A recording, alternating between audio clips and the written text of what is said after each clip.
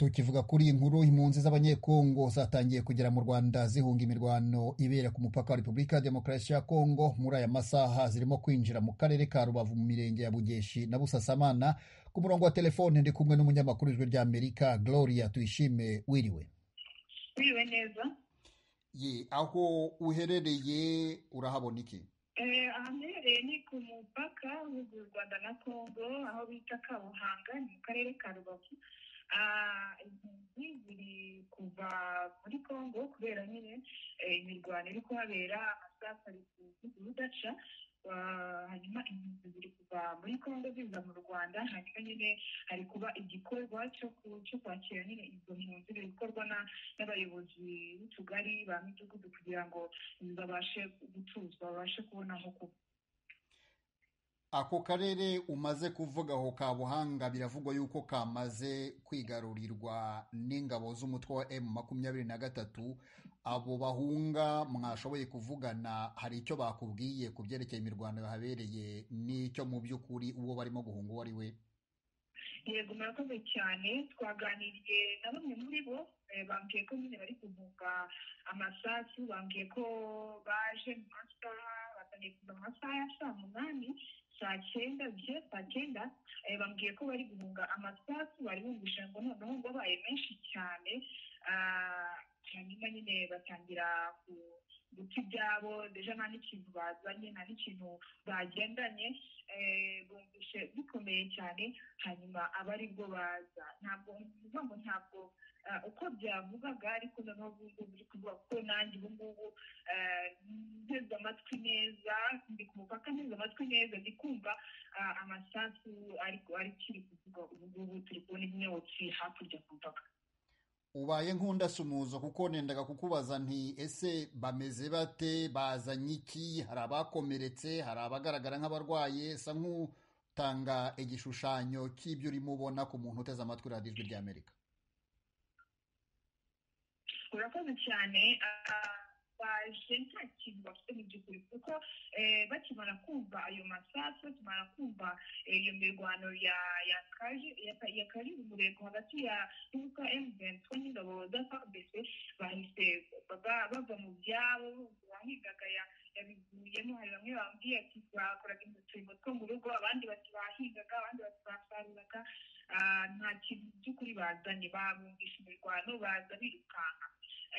Ntabwo nabashije kubona bakomeretse ndacyakora igenzura ndacyagenzura. Ariko mu bigaragara ni uko nta kintu bazanye ahubwo noneho bari kubera ko bagiye bafite imiryango hafi aha ngaha niyo noneho bari kugenda bajyamo kugira ngo babifashijwemo n'ubuyobozi bw'akarere n'ubuyobozi bw'imidugudu ya hano mu rwanda babashe nyine kubona aho gutuza.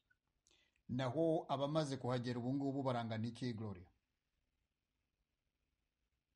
Barakoze cyane abamaze kuhagera kuri ubu ngubu none ahandi mirongo inani n'icyenda hari abandi bagitegerejwe ntabwo baraza ariko kuri ubu ngubu umubare umaze kugerwamo n'impunzi muri rusange basigaye ko basigaye ko ari mirongo inani n'icyenda gloria tuyishime umunyamakuru w'ijwi ry'amerika aho ku mupaka w'u rwanda na repubulika ya demokarasi ya kongo. Urakoze cyane?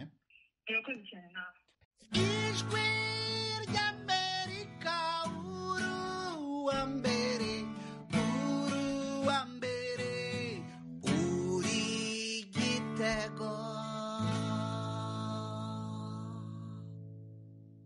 Tukivuga ku byerekeye intambara yo muri kongo ejo ingabo za kenya zirenga magana inani zageze muri kongo mu rwego rw'iz'umuryango wa afurika w'uburasirazuba ziyemeje gufasha kurangiza icyo kibazo.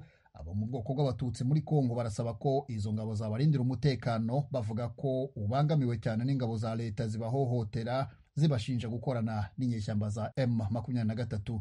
Jimmy Shukran bakomera mu gihe imirwano irimo kuba ingabo za kenya zirenga magana munani zasesekaye mu mujyi wa goma kuwa gatandatu mu gufasha frdc kwirukana m makumyabiri na gatatu ku butaka bwa kongo izi ngabo zakiwe n'umuyobozi w'intara ya kivu y'amajyaruguru lieutenant General constant makongba aho yasabye abaturage kwishyira hamwe birinda uwo ari we wese wabasha kubatandukanya. Uyu yongeyeho ko abaturage ari ryo jisho rya leta muri ino minsi ho intambara ikomeje. Ariko se ni iki abaturage bo mu ntara ya kivu y'amajyaruguru biteze ku izi ngabo za kenya? Ezra kavamahanga umunyapolitiki wo muri teritwari ya rucuru avuga ko abaturage bakeneye umutekano. Objectif bashireho izo ngabo kugira ngo zize no kugira ngo zidufashe kurangiza neza iriya mitwe yitwaje intwaro muri noro dusaba abasore bose ko batanga bakajya kurwanira icyatubyaye kuko nta kindi gihugu dufite igihugu cyacu ni kongo abasore bihangane binjire mu gisirikare barwanire igihugu twubake icyatubyaye tugire amahoro tube igihugu kitagomba kuvogerwa na buri muntu wese. Kongo ni igihugu kinini ni igihugu gisaba kurindwa n'abana bacyo. Ntari igihugu cyo kurindwa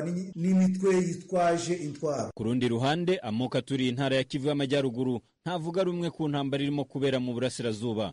Bitese kuri mu makumyabiri na gatatu igaragara kuba ifite imbaraga nyinshi ugereranyije n'indi mitwe itavuga rumwe na leta ya kongo serge muhizi muheto ni umusesenguzi mu bya politiki ya kongo avuga uko abona intangiriro ya mu makumyabiri na gatatu. Ufite buriya intambara ya M23 ntabwo ari iyabo. Intambara ya M23 ikomoka kuri M23 2013 igakomoka kuri RCD n'izindi ntambara zabanjije izo zose zikomoka ku Rwanda. Ni guhera muri nonansis igihe bazanaga kabira kabira ubwe ntabwo yari azi yuko azasubira mu ntambara ariko yagize umugisha abona baramuzanye baramufasha ariko bamufasha mu buryo bwo kuturangiza. Kubera ko niba baravugaga ngo Mobutu ni, dictatere ariko byibuze yaduhaga ubuzima. None ubu ngubu bo baje bari gukuraho dictature badukuraho ubuzima. Duhora mu ntambara z'uruhererekane kandi byose bikarangira bigaragaye yuko u Rwanda rufasha abo bateza intambara cyane cyane ko bageze igihe bayobora n'iki gisirikare cy'igihugu. Ku ruhande rw'urubyiruko rw'abatutsi muri kivu y'amajyaruguru bavuga ko babangamiwe n'ibikorwa by'urugomo bakorerwa n'abashinzwe umutekano bo mu mujyi wa Goma n'ahandi